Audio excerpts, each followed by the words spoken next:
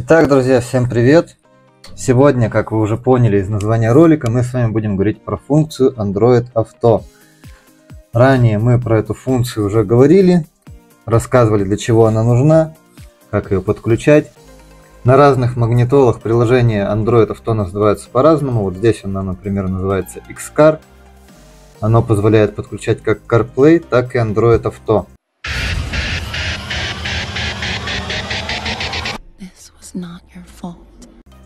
И в нашем ролике мы это уже разбирали, но мы говорили о тех магнитолах, в которых э, это приложение уже встроено, где есть и Android Auto, и CarPlay.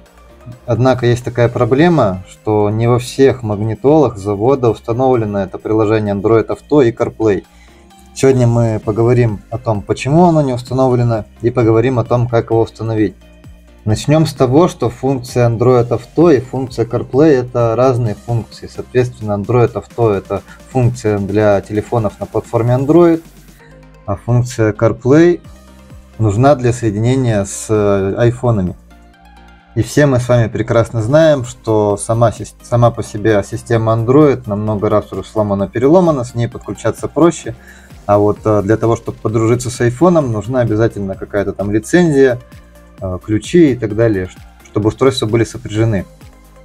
Так вот, э, для того, чтобы ваше устройство подключалось и к Android Auto и CarPlay, то есть и к Android и к iPhone, нужно, чтобы обязательно в самой магнитоле был установлен специальный такой компонент. Мы его будем условно назвать чипом, который поддерживает соединение э, с Android Auto и с CarPlay.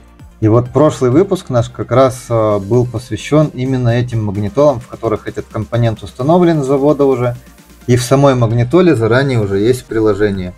Называться они могут по-разному. Z-Link, T-Link, X-Link. Вот здесь оно называется X-Car. Может просто быть написано Android Auto. Ну, в общем, как мы видим, здесь приложение открывается и начинает попеременно мигать заставка. То есть вот так должно работать нормальное приложение CarPlay и Android Auto.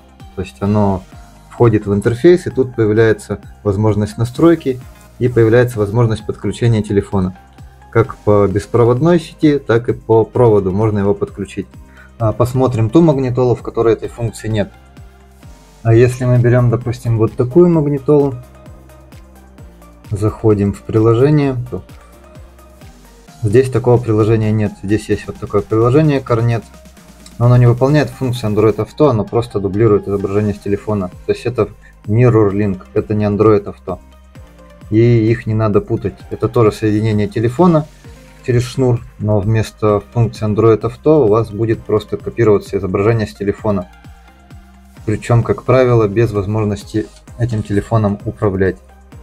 Так вот, э, почему так происходит, почему в одних магнитолах есть эта функция, в других нет. Есть в принципе две причины. Э, первая это в принципе, то есть в магнитоле отсутствует компонент, который отвечает за подключение этой функции. Мы его договорились назвать условно чипом. Отсутствует чип для Android Auto для его подключения. И даже если мы сюда установим приложение для Android Auto, оно сюда не установит. А если мы даже сюда поставим прошивку от магнитолы, в которой есть Android Auto, само приложение появится, но запускаться оно не будет. Оно будет висеть на заставке. И второй момент, почему не может быть функции Android Auto, это хитрость такая небольшая китайцев.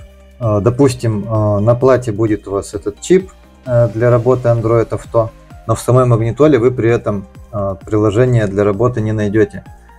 Почему они это делают? Потому что сам чип, он этот недорогой, то есть они экономят, бывает, где-то копейки. Как вот, допустим, вот эти же цветные кнопки по бокам. Э, поставят белые кнопки. На самом деле разница там в рубль, но они даже этот рубль сэкономят. Так вот, что они делают? Они могут продавать одну и ту же модель магнитолы.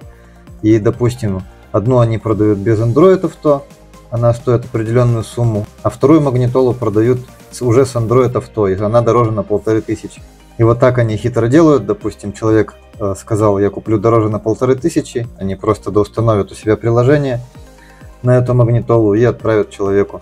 Такого тоже везде навалом. В одной и той же карточке товара можно найти магнитол Android, там написано, допустим, без Android авто она стоит столько-то денег, если добавить функцию Android Auto и CarPlay, она стоит столько-то денег. Это может быть одна и та же магнитола, просто на одной они добавили приложение, а на второй не добавили. Так вот, сегодня мы решим проблему как с первым способом, так и со вторым. Неважно, есть у вас чип Android Auto, либо нету этого чипа, мы вам в любом случае поможем Android Auto установить. Теперь этот кусок видео я снимаю только для тех, кто смотрит наш канал на YouTube. В связи с тем, что YouTube в России начал работать не совсем корректно, не совсем правильно, а, мы вынуждены перестраховываться. И в итоге у нас есть два ресурса, на которых мы выкладываем также свои ролики, они там абсолютно бесплатные. А, это ресурс Яндекс.Дзен и группа ВКонтакте. Мы оставим ссылки в описании, вы можете переходить как в Яндекс.Дзен, так и в группу ВКонтакте, и там вы увидите полный вариант этого ролика. В первую очередь мы делаем это не потому, что нам жалко, а хотим перестраховаться, потому что подписчиков на ютубе у нас уже было набрано какое-то количество. Допустим, через неделю, через месяц наш канал заблокируют, неизвестно, что придет дальше там Роскомнадзору или самому ютубу, что в голову сбребет. Э, может, они начнут блокировать всех подряд. Потом и в итоге пропадет и канал, пропадут и видео, и вы в итоге не сможете нас найти. Поэтому переходите на Дзен, переходите на ВК, подписывайтесь обязательно, и тогда у вас останется доступ ко всем нашим роликам, как к новым, так и к старым, полным версиям. На текущий момент, в текущей ситуации на YouTube полных роликов выкладываться не будет. Переходите по ссылке в описании и подписывайтесь.